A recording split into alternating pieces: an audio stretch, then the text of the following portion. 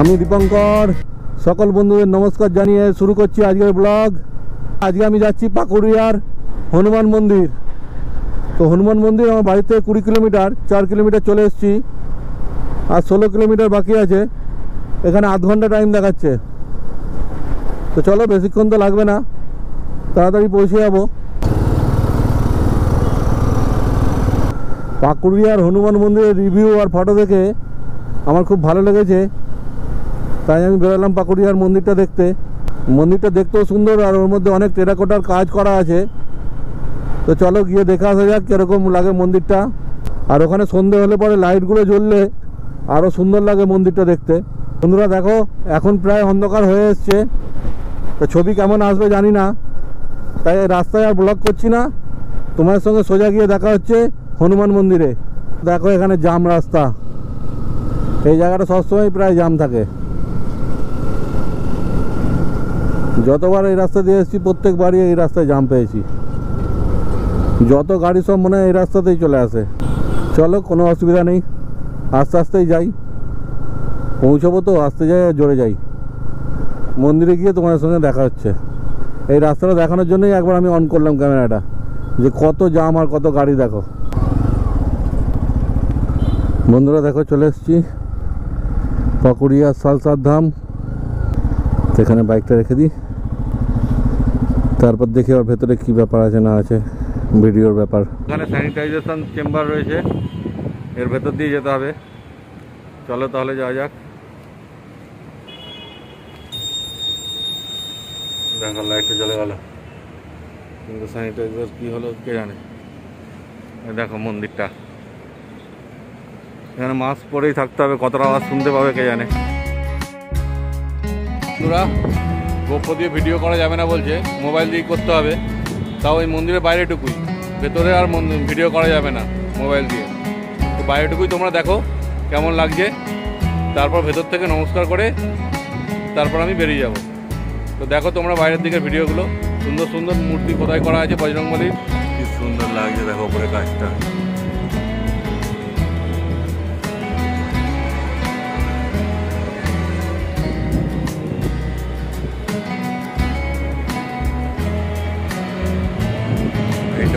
এটা আরও ভালো লাগছে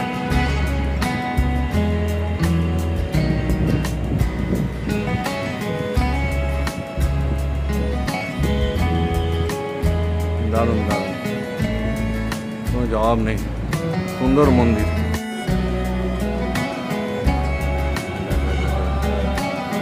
ভেতরে গিয়ে তো আর ভিডিও করা যাবে না, এখান থেকেই দেখিয়ে দিচ্ছি তোমাদের। দেখো ভেতরটা কেমন। ভেতরে আরও সুন্দরভাবে কাজ করা আছে দারুণ লাগছে ভেতরটা। কিন্তু ভেতরে ভিডিও করা এলাও নেই। চলো, আমি ভেতর থেকে নমস্কার করে আসি। মোবাইলটা বন্ধ করে, তারপর আবার তোমাদের সাথে কথা হচ্ছে। আর বাকি মন্দিরটা দেখাবো তোমাদেরকে নিচে থেকে।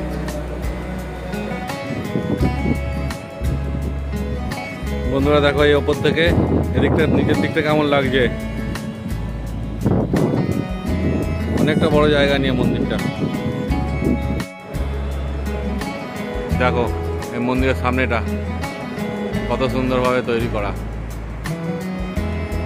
এই মাঝখানে রেলিং দেওয়া আছে। এই গেটটার ভেতরে আর মোবাইল দিয়েও ভিডিও করা যাবে না, এই বাইরেটুকুই। বাইরেটুকুই দেখো কেমন লাগছে। এই দেখো বজরংবলী মূর্তি।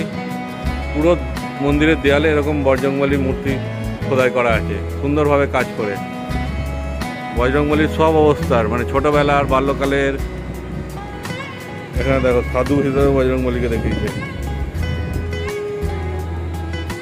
সব সময়কার ফটো রয়েছে বজরংবলীর।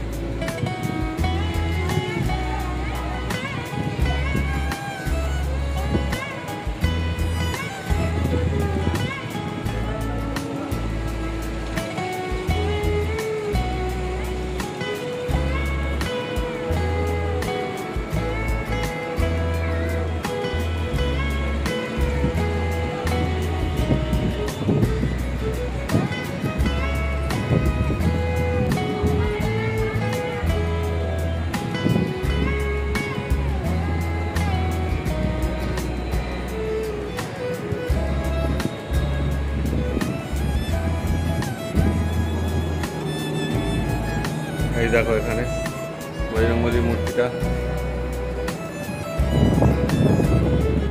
দেখো বন্ধুরা, মন্দিরটা এখান থেকে ভেতরে হনুমান চল্লিশা পাঠ হচ্ছে।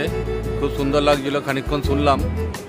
ভেতরে এসির ব্যবস্থা রয়েছে, বড় বড় স্ট্যান্ড ফ্যান রয়েছে, ঠান্ডা বেশ সুন্দর লাগছিল। তার মধ্যে হনুমান চল্লিশা পড়ছিল একদম। মনে হচ্ছিল ওখানেই দাঁড়িয়ে থাকি, বেরোতে ইচ্ছা করছিল না। তো দেখো মন্দিরটা। বন্ধুরা, এখন সাতটা বাজে। এখন মন্দির বন্ধ করে দেবে। এখানকার গার্ড যারা আছে তারা বলছে যে টাইম হয়ে গেছে চলো এবার তোমরা মন্দির বন্ধ হবে। ওই ওখানে বাতি বাজাচ্ছে। দেখো মন্দিরটা লাইট জ্বললে কত সুন্দর লাগছে এখান থেকে।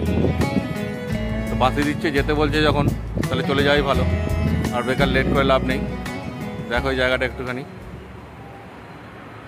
দেখো পেছনে গেটটা এখান থেকে। এই যে এখানে হোম ঘর আছে। এখানে হোম হয়। আর এই দেখো পেছনের মন্দিরটা। সুন্দর লাগছে। সময় হলে তোমরা একবার এসো। সাতটার সময় মন্দির বন্ধ হয়ে যায়। সাতটার আগেই টাইম নিয়ে আসবে। যাতে এই হনুমান চল্লিশা পাঠটা সন্ধ্যের সময় শুনতে পাও তোমরা। বন্ধুরা, এই মন্দিরের ভিডিওটা আর মন্দিরটা তোমাদের কেমন লাগল কমেন্ট করে অবশ্যই জানিও। আর ভিডিওটা ভালো লাগলে একটা লাইক করে দিও। আর চ্যানেলটা সাবস্ক্রাইব করে দিও। তাহলে আজকের ভিডিওটা আমি এখানেই শেষ করছি। তোমরা সুস্থ থেকো, ভালো থেকো। তোমার সাথে দেখা হচ্ছে আবার পরের ভিডিওতে।